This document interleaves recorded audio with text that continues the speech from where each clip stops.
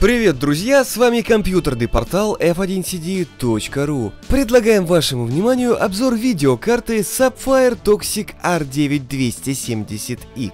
Размеры карты составляют 308 на 113 на 41 мм, что весьма прилично и потребует подходящего по размеру корпуса, чтобы карта не упиралась в отсек для жестких дисков. На лицевой стороне устройства мы видим черно-желтый пластиковый кожух системы охлаждения с тремя вентиляторами – два диаметром 85 мм и один 70 мм. Всего в основном алюминиевом радиаторе 5 10 мм тепловых трубок, три из которых идут в мелко набранный вторичный радиатор. На верхней грани, украшенной логотипом Sapphire с желтой подсветкой, расположены два коннектора 6 пин для подключения дополнительного питания, подсвечиваемая кнопка UEFI BIOS, два разъема для объединения карт в Crossfire X. На левом торце видеокарты вместе с решеткой находятся все выходы.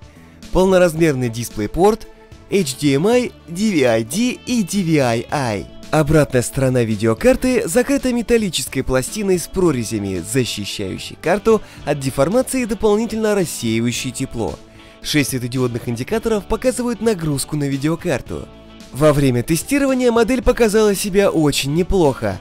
Производительность неразогнанного видеочипа нисколько не уступает Radeon HD 7870, а в серии Sapphire Toxic видеокарта еще и предразогнана на заводе, что оказывается порой критично для производительности. Графический процессор разогнан со стандартной тактовой частоты 1050 МГц до 1150 МГц, а память с 1400 до 1500 МГц. Температура на уровне 59 градусов полной нагрузки Фермарк, особенно с учетом заводского разгона и не на полных оборотах системы охлаждения, это хороший результат. Стоимость Sapphire Toxic R9 270X на момент тестирования составляет примерно 9000 рублей. Это вполне соответствует уровню производительности видеокарты, особенно учитывая заводской разгон и превосходную систему охлаждения, отличающую ее от стандартного исполнения.